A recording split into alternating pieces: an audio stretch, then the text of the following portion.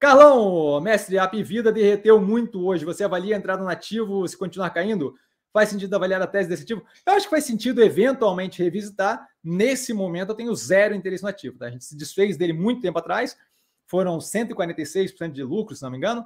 Tá? Foi uma operação que naquela época estava atuando muito bem. Depois da fusão com a Notre Dame, com a Notre Dame, eu acho que a operação ficou consideravelmente grande demais, com todo o trabalho de, de gestão da fusão da operação.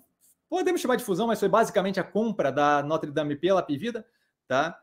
É, de modo que eu não vejo muito o espaço para crescimento, não vejo muito aquela agressividade que eu vi anteriormente de compra de pequenas operações, expansão mais agressiva e trazendo as outras operações menores para o modelo Apivida. Então, assim, eventualmente podemos revisitar? Podemos.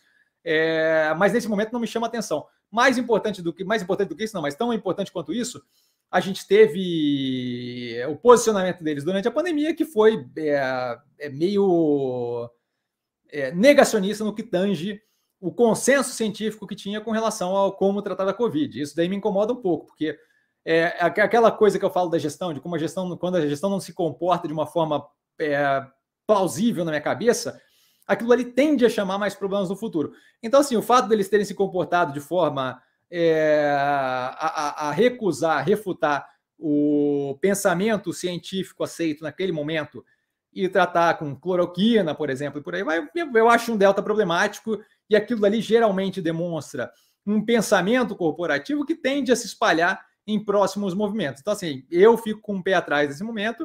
A queda dela hoje, especificamente, não me chama atenção. Eventualmente, podemos vir a olhar o ativo, mas, assim, é, nesse momento, o foco é muito mais é, de reduzir preço médio em ativos que a gente está muito confiante, que estão que, muito confiantes, que estão no portfólio, do que propriamente ampliar para operações que têm ali uma quantidade de questionamentos consideráveis no que tange a continuidade positiva da operação, tá?